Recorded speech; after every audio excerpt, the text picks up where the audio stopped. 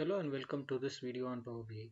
In this video, let us take a look at how we can connect to Azure Cosmos DB from Power BI and load data from Azure Cosmos DB into Power BI.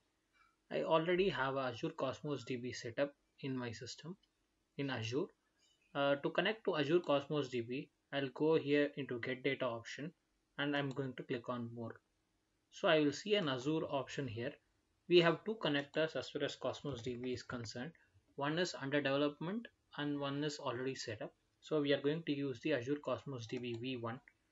The moment I click on connect, it is going to open a window where it is going to ask me the URL and database and collection which are optional informations.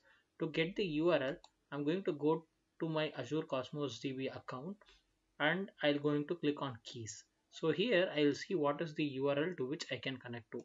I'm just going to copy this to my clipboard come here enter the URL and what is my DB in, in this case my DB's name is sample DB I'm just going to give it and click on OK. So only way I can authenticate to Cosmos DB is using the account key.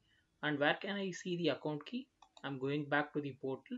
I'm in the keys section. I'll have two different keys. One is for read and write operations and the other one supports only the read operations.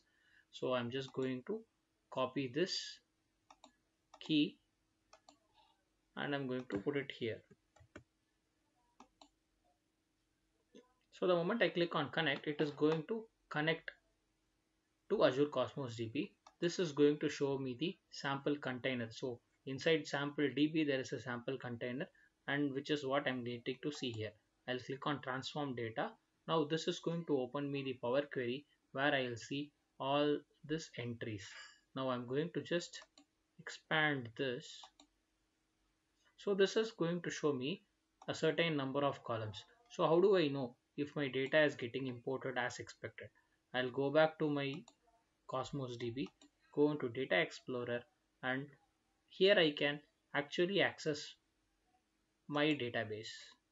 So I'm going to click on items and this is going to show me all the data that is present in the items table.